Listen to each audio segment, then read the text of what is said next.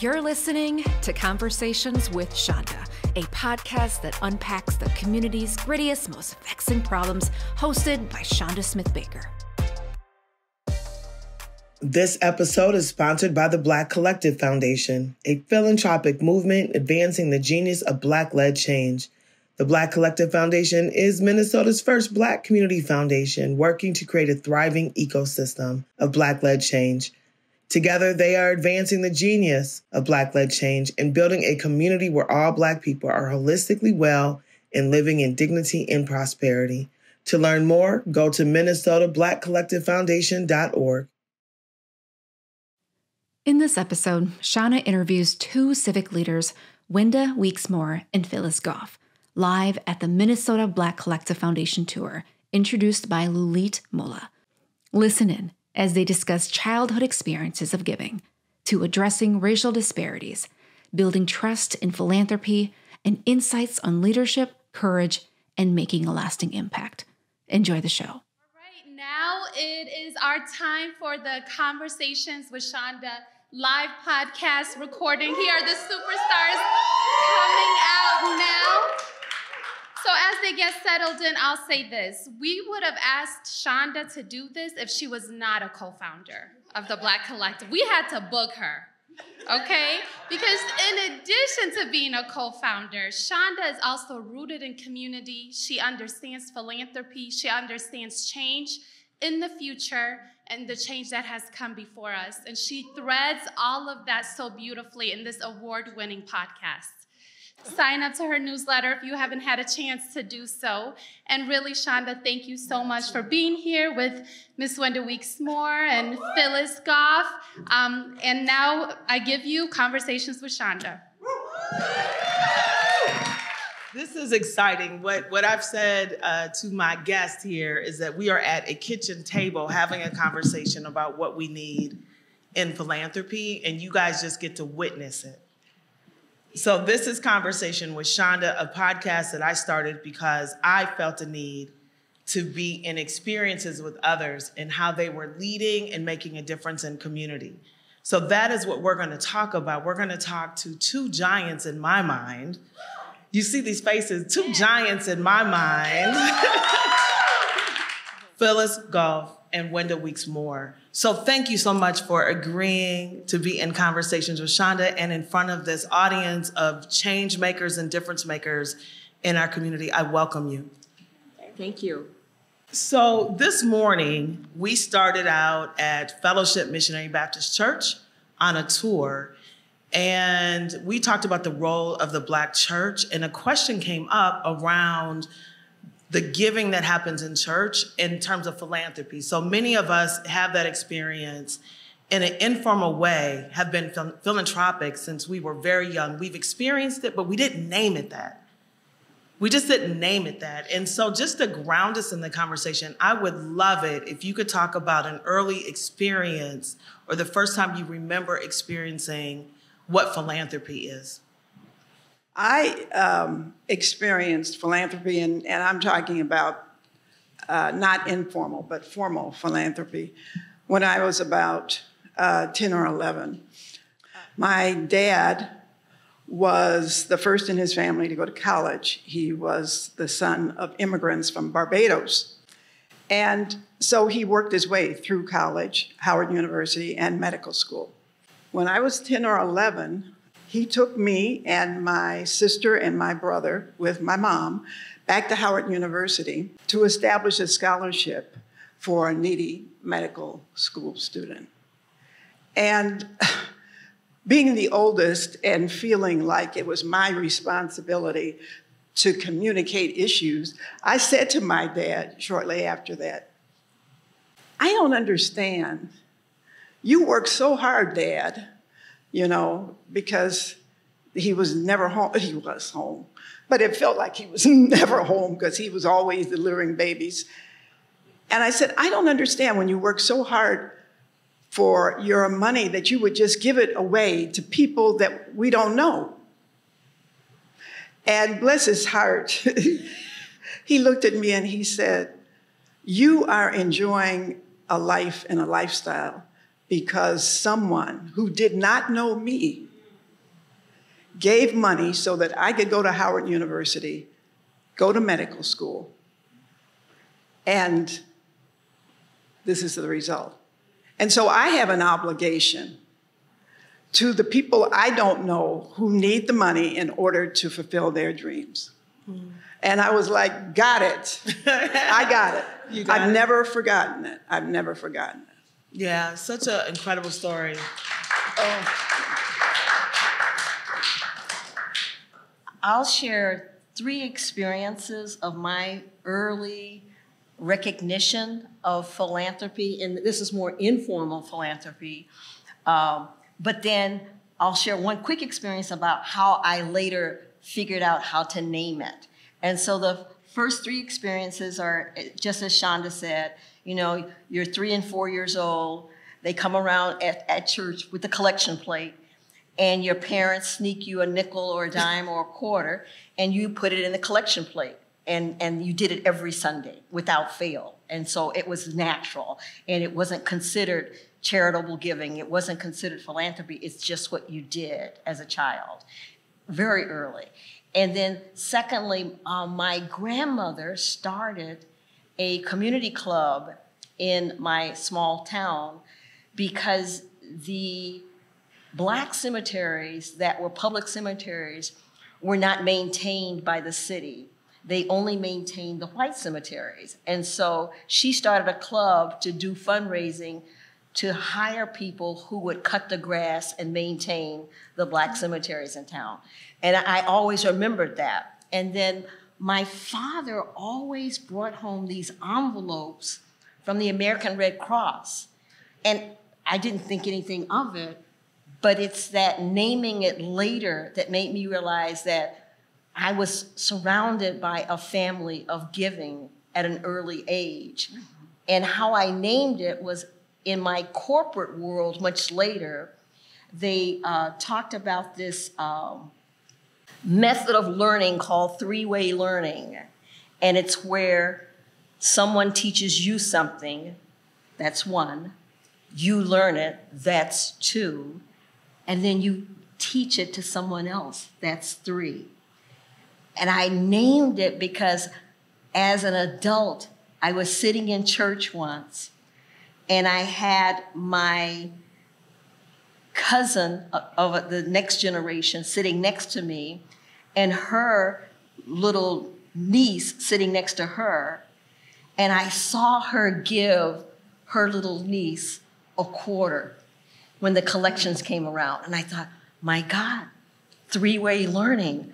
And so it all came to naming it in terms of we've all, as a black community, we've always been giving. We've always been caring. And that's not unique to our race, but it is something that we proudly hold as our race. Mm-hmm. Thank you for that. And what that brings up for me is that, you know, at the Black Collective and Phyllis, we've had these conversations around how do we invite communities to be engaged in formal philanthropy um, in ways that our current philanthropic institutions are missing. Do you have advice to share on that? How can we encourage? I, I, well, first of all, you always encourage by modeling, and you always encourage by saying to what end. And so, if you can share to what end that this is going to benefit not only the individual doing the giving, but how that that's going to multiply. I think that that would be, those would be the two big things I would say by modeling and also by making sure that there's some value to what in proposition. Mm-hmm. Mm-hmm. Do you have anything you want to add to that question? No. No? okay. I think that's that good. was I good. Like that. that was good. I like that. So, you know, I have a, a special affection for board governance. So do I. I know it's sort of it's sort of wonky, nerdy little thing, but I do, and I believe in the power of of governing, um, the power of moving change, the power of supporting the leaders that are in those institutions both of you have sat on some really amazing boards. We are in a season where urgency is um, the norm. But what role do you think that boards have in actually forwarding long-term change? Wenda, you served on Kellogg board for 29 years? 26 years. 26 years. Yes. What were the challenges and the opportunities that you see that would be useful for those of us in the, in the audience here? Um, you know, when you have an opportunity to serve, and um, Mr. Kellogg in his bylaws decided that he wanted us to serve until a certain age. Um, so when you have the luxury of serving on a board for a period of time, you, you develop interest in longitudinal studies and where, where are we going? But it doesn't have to be right now. It doesn't have to be five years from now because you can see the work, continue to watch it grow and build on it. When the commitment is made by a board that isn't going to change every three or four years. We also had the responsibility to hire the CEO. So you bring a CEO who understands what the values of the foundation are, where we're going, what we want to do, then you have a consistent movement forward. Mm-hmm. The president understands where you want to go, the board understands. Now, when I got on the board initially, we couldn't say race. We had a couple of people on the board who had issues with having that word said. And so we're doing work in Detroit, we're doing work in Mississippi, and we're not saying race. And I'm thinking to myself, what the heck is going on here? And pretty soon I got to be on board development. And so we started having some experiences. We did some traveling as a board took us to Mississippi. And um, we had very talented staff. The staff arranged for us to meet with some black and some white farmers. The meeting was out in a field. Without any prompting, the white farmers sat on one side, the black farmers were sitting on the other side. And we listened to them talk about the way things were there. And the way things were there meant that the white farmers planted on time because they got the seeds and had the money and whatnot, whatnot. And then they took their product to process and all. The black farmers were always behind. What's interesting about this is when we got in the room with just the trustees, one of the people who had not wanted to say race you never know when this when the light bulb is going to go on. Right. One of the main people who would not allow us to say race said, "I'm just burning up. That was just ridiculous out there today." And I'm thinking, I know you're not where I think you are, but he sure was. And for him, it was like it was the key. And we started from there. He retired three years later, so then we really moved into mm-hmm to high gear because we knew race was the elephant in the room, whether we were doing work in Detroit, in Mississippi, wherever. Race was the elephant in the room that nobody wanted to talk about. And so we decided to talk about race. Mm-hmm. And now Kellogg is in the top 20 of foundations that are moving race equity work in the country. Yeah. Thank you for that. Phyllis, do you think we're centering race now in philanthropy? Are we centering it now more? Are, are we, we, centering, centering it now it, more? Uh, it, it, depends on the foundation. Mm-hmm. Okay. And it depends on the community. Um, and I feel like that there was a lot of effort, sincere effort, that was put out um, unfortunately, after the murder of George Floyd. And so the whole concept of recognizing racial disparities and seeing it in the moment and not being able to avoid it, uh, I think became very clear. I worry about as time goes by, our memories get short. and that we won't have uh, the continued urgency to stick with it and to have the stamina. I'll add one more point to that, and that is I was at a presentation yesterday where Acooa Ellis was the keynote speaker, and Acooa talked about the fact that systems change takes time. And it also takes stick to itiveness, it takes stamina, it takes courage, it takes consistency. She, she did a lot with the C's, okay? and consistent communications. And so I feel that, yeah, philanthropy, looking at equity being centered is still key. But if we don't stick to it, if we don't continue to have that type of dedicated attention to it, we're going to eventually step back again. Mm-hmm. I see you nodding your head. Well, I'm just thinking we have to figure out how to make progress without having a crisis. Good point. Can you say more? I, I think that's it. I mean, we have to, we have to consistently do the work. We have to consistent. We shouldn't be going from, you know, a, a crisis shouldn't be the energy that gets us propelled forward. The crisis makes it reactionary. Yeah. And we should not be reactionary. That's right. We should be proactive. Mm-hmm. Mm-hmm. I agree. Yeah. Yeah. So the Black Collective Foundation emerged after the murder of George Floyd. We weren't a foundation when we first emerged. We were a collective. Lalit Rapon and I came into the work and we came out with a statement. And so your story just prompted for me when that statement came out um, that we asked foundations to sign on to that talked about combating anti Blackness. And there were some foundations that immediately signed on we got some phone calls that says we like everything except for the words combating anti-blackness. Like our boards just aren't going to go for that. Can you just take this word out? Can you add this word instead? Can you do this instead?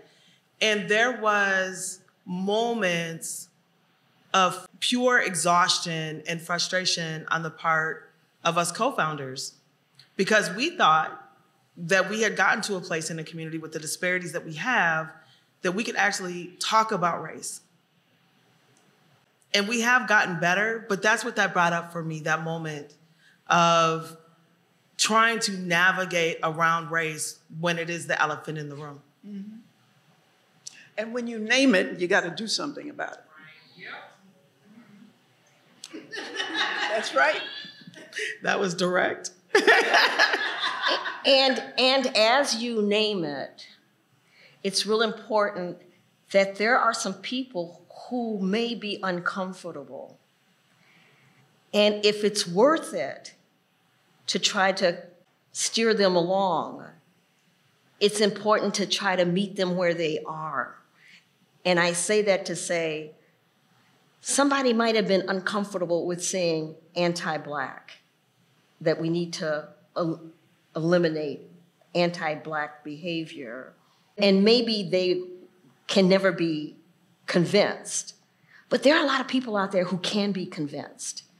And if you take the time, going back to what Acooa says, systems change takes time.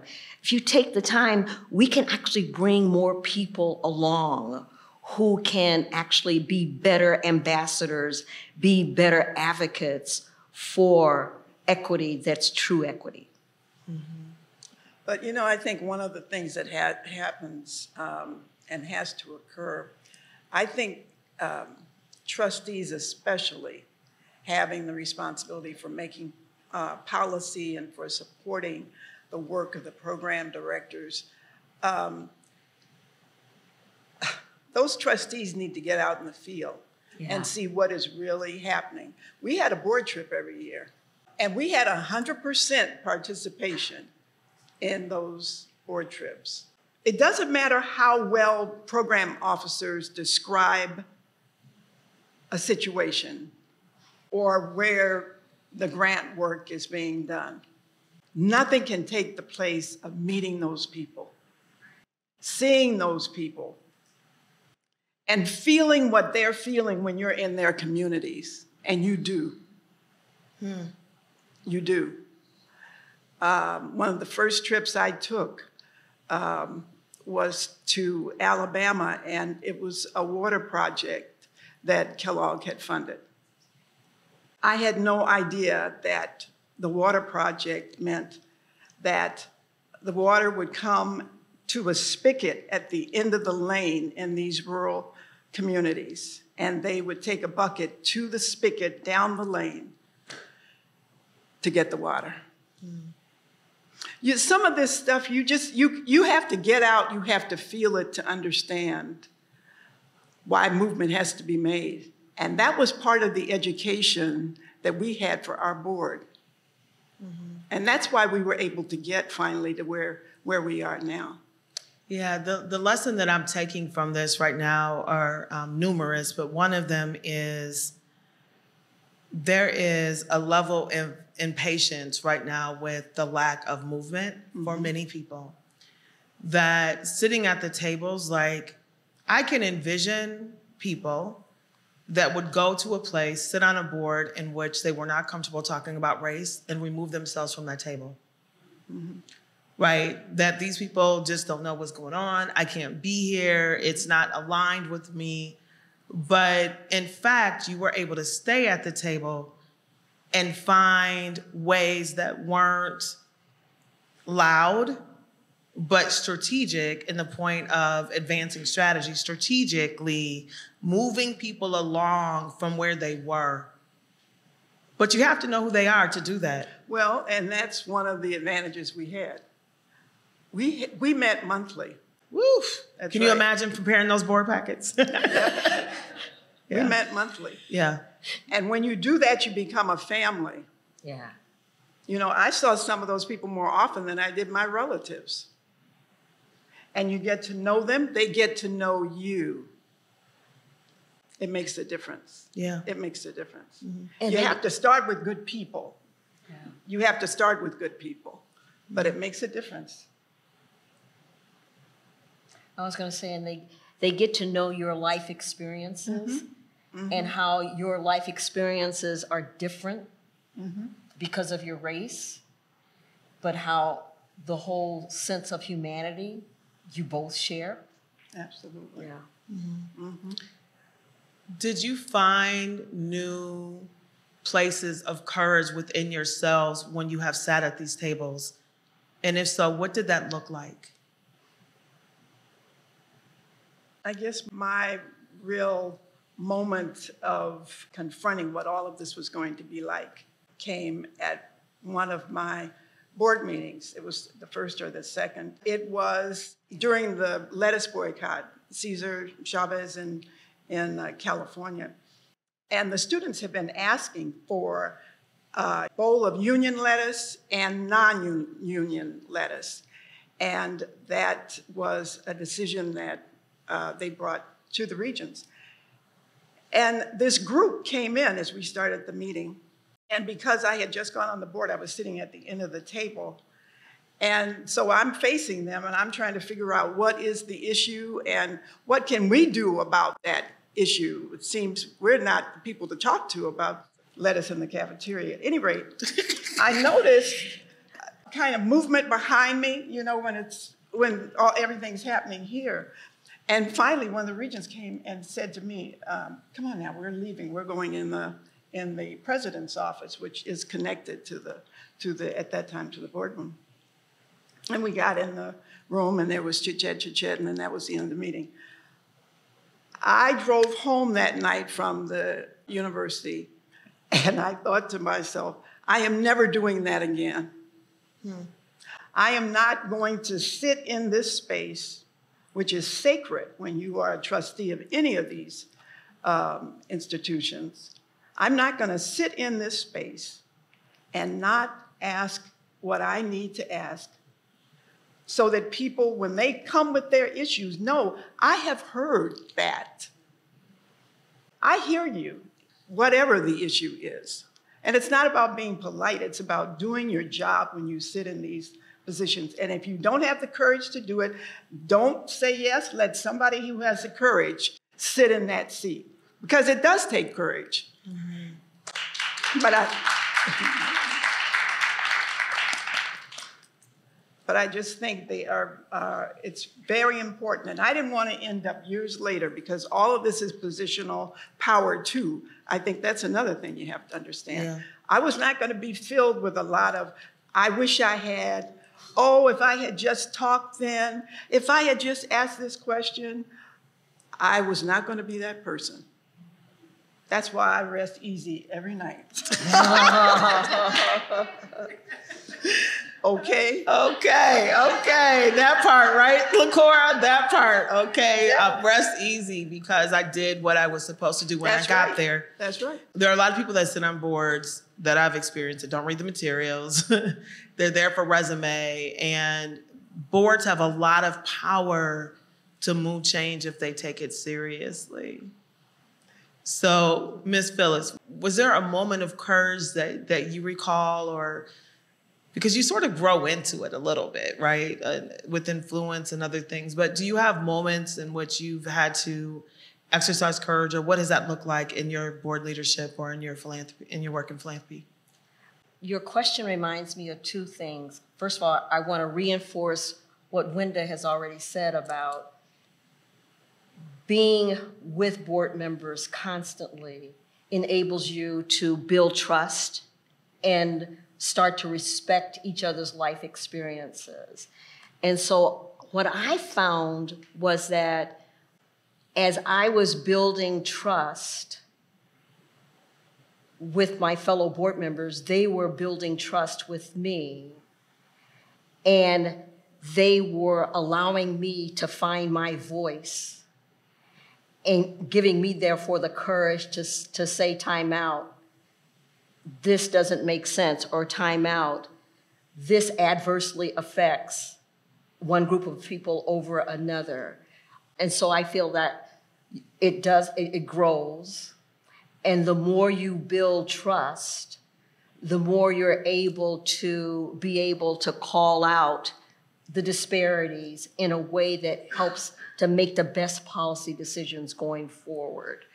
Um, the one moment that I can think of was actually with the McKnight Foundation, and one of uh, my fellow board members said something to the effect that we need to start to support our black men, that our black men are being dis- disproportionately treated differently with racist uh, attitudes. And it occurred to me here is a, a white woman making a courageous statement like that. I need to say, I agree that we need to look at programs that can help rise everybody up and do a focus on our African American men in Minnesota. So that was a courageous moment for me that I even I even then said, I've heard Josie Johnson talk about that. And I heard Josie Johnson give that in an acceptance speech when she got an award from the St. Paul and Minnesota Foundation. And it is true that where people are adversely affected, we need to call it out. Mm-hmm. And we need to be really more intentional about righting the wrongs. Mm-hmm. Agreed. While there are challenges that we are navigating, there's lots of good things happen, good trouble happening in community. And so, um, Ms. Phyllis, what are you excited about that you're seeing, and what are the opportunities you believe are out there for us in philanthropy? I want to I want to do a shout out to the fact that all of you who are in this room are in this room for a reason. That's exciting, mm-hmm. and I do feel like that's building the momentum that we need to build to not only affect everybody in this room and how you are able to affect others, but that we're also bringing up the next generation of kids who will make it even better. So that's my biggest excitement that there is momentum. And my biggest fear is that we're going to lose that momentum if we don't stay with it. Mm-hmm. Yeah, Ms. Wenda. Um, I, I just look forward to seeing how the next generation will identify and decide to attack some of these issues. I feel I worked very hard when I was um, sitting at the table. And I feel satisfied in what I was able to do and what the boards I was on were able to do. But I also appreciate that the younger generations have a different way of looking at life, of looking at things and doing things and all of it. I can't believe how my grandsons can work my phone when I look at it and and you know, Grammys, I told you before, you know, do this, do this when this happens. I just am looking forward to the way you're going to attack some of these issues because I hope you bring all of your creativity and also some of the lessons learned because we've all tried. We, we did our best and I think we've made some movement, but we, and I know you know, we need to make a lot more movement forward. Mm-hmm. So I'm just excited about the innovation that's going to come and all the wonderful minds that are going to focus on some of these issues now. Wonderful. You want to you want to add? I can see you. Well, you know, so as we look at the innovation and the great gifts and creativity of our younger generation, we need to make sure that it's grounded in just historical relevance because I have to tell a story that Lou Bellamy once told me. He's Lou Bellamy, the founding and artistic director for Penumbra Theater. He was in college doing his master's work, and um, a professor was trying to convince him that he needed to learn more about Shakespeare. And he says, I don't want to do Shakespeare. That's old stuff. I want to do new stuff. And the professor said to him, Well, how will you know? Mm. And he realized you can't learn about doing innovation and doing new stuff if you don't know what's come before you. And so for me, it's important that we don't hold back the innovation and the creativity and what the next generation needs, but it's important to keep all of us grounded in what has come before us so that we're not only building on that, but as they say, if you don't know your history, you're doomed to repeat it, that we're not making the same mistakes again. Thank you. Do we have any audience questions? I'm fascinated. You each operated at some point as the only in your work. For people in the audience that are the only, what's your advice for them stay in the work? Mm. Find friends outside of the only who you can relate to. So I may be the only person on a board, but Wenda is the only person on another board. And so we can uh, prop each other up, inspire each other, commiserate with each other, and learn from each other. Mm-hmm. I have been the only, but I made it, uh, I just made it my business to win people over. Hmm. So I had connections because you can't you can't move stuff forward if you can't work the people on the board. It's a horrible thing to say, and I'm sorry if anybody doesn't like that terminology. But when you're trying to move forward on meaningful issues, you have to have people understand you, understand um, the fact that you're coming from a place of truth and uh, there's, there's a need to listen and to understand uh, to move forward. So I always made it my business to get connected, get to know. I had some people on the on boards that were surprised. We ended up best friends almost. Mm uh, because you have to do that. You're working with them, and there has to be a level of trust And you have to, if you're the only, you have to take the first step to start building that trust. What I think I appreciate, I do appreciate this conversation, but what in this last exchange is because often people will highlight being the only. And what I heard from you, Ms. Phyllis, is you're not the only only. right? You're not the only only. Right. There's other onlys out there. And so, where are the people you need to sustain you in the work? So how have you been sustained? How did you how are you sustaining yourself in the work? Like is it is it building that community around you? Like what what has sustained you in this work? I have parents, grandparents, uncles and aunts that came before me mm-hmm. That not only helped sustain me, but made me feel like I didn't have any other choice. and so it therefore it was natural that I keep at it in order to keep at keep at the work. Mm-hmm.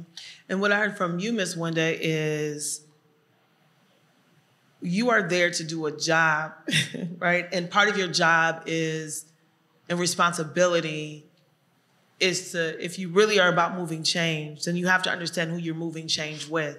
So even if you're the only, you're not the only one responsible for moving that change. Right. And so you have to build relationships across identity to be able to do that work. And as you do that and build trust and share, people's minds will shift. Yes. Their perspectives will shift. Yes. And the foundation for me was Howard University um, I attended integrated schools in Los Angeles and um, had a great experience. But I will never forget freshman orientation. One of the last sessions we had, the uh, vice president for student affairs, after all the main work had been done, came to the mic and said um, to all of us who were sitting in the audience, you are the leader your community is waiting for. Mm, very good. and I'm turning to my friend, what did he say? and just, uh, it's like he heard me saying that. So he said, You are the leader your community is waiting for. You have four years here. Be about the business of learning what you need to learn to go back to your community and face some of the issues that we have so that you are prepared to help your community make positive change. Here, here. I never forgot Carl Anderson. I will never forget him because that's the first time, and I was the oldest in my family, so I was kind of a leader, but it was the first time somebody said, You. Mm-hmm. Yeah. You know. And what's the importance of saying you? You can't deflect it. Hmm. It's coming for you. And so in 1969, when my neighbors asked me to run for school board, I heard that man's voice in my head. Oh, wow. And I said, Yes, I'll run for school board. So I, I just, you never know how people are going to impact you. Be careful with your words, mm. especially with our young people. Pour positive messages into them. They have enough garbage coming at them. Believe in our young people. Believe in our young people. Here, here. Mm-hmm. You want to add anything else? I can't. Mm-hmm. Other than amen. amen and amen and amen, as they say in the church. Um, you know, I just have to share that, um, Ms. Wenda, when you left the Kellogg board, you were honored as you should have been. There was a gift that you made to the Women's uh, Foundation of Minnesota. And she doesn't know this, but I was at the next table when um, you were being honored in that space.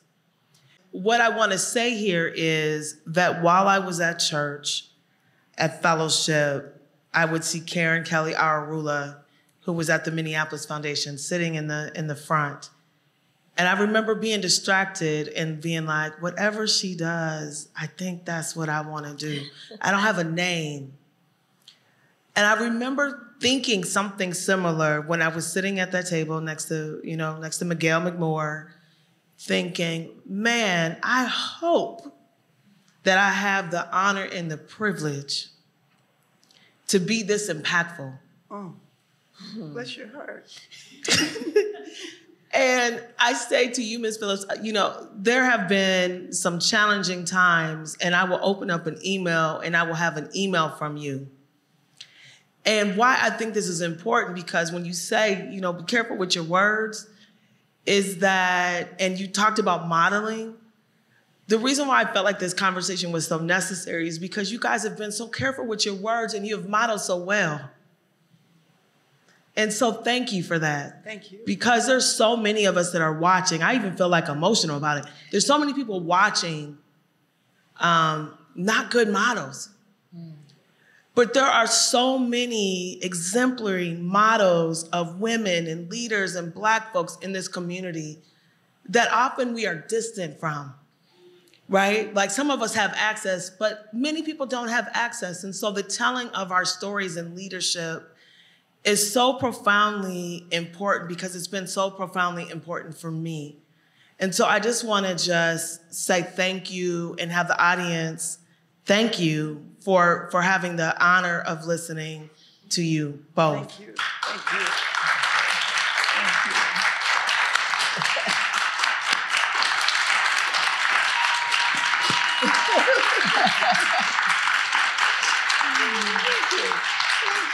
Miss Wenda Weekes-Moore, Phyllis Goff, thank you. This was Conversations with Chanda. Well, I was gonna say, let's also give a round of applause for Chanda, Chanda. Smith Baker. They're here. What is on my heart? This week has been challenging. We have had significant loss in our community this week. It is a season of memories that we are coming into, that all of us are equipped to move and navigate in relationships. And that is a privilege because everyone doesn't have that. The work that we are about is life changing and life saving. Hmm.